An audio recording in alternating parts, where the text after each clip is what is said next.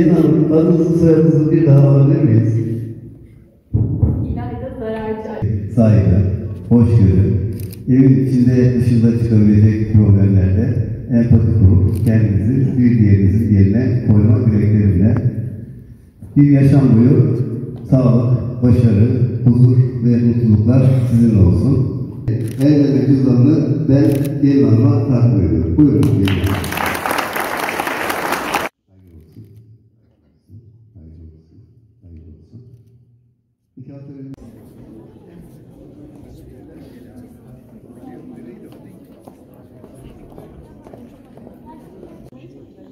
Çekiyorum.